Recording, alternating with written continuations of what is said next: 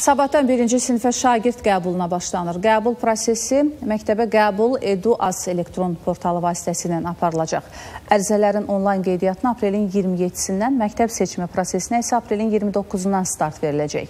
Mayın 4-dən Rus bölməsi üzrə müsahibələrə başlanacaq. İyunun 14-nə dək davam edəcək.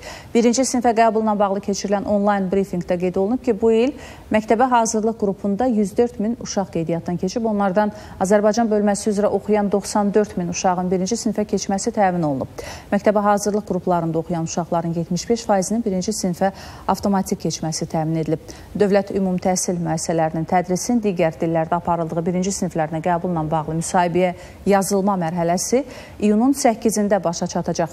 Müsahibələrin 4 may, 14 iyun tarixlərində onlayn həyata keçirilməsi nəzərdə tutulur. Birinci sinifə qəbulla bağlı elektron qeydiyyat prosesi sentyabrın 14-də yekunlaşacaq. Onlayn brifinqdə o da bildirilib ki, bu il Bakıda birinci sinifə qəbul üzrə hər rayonda 2 və ya 3 olmaqla 25 alternativ qeydiyyat mərkəzi fəaliyyət göstərəcək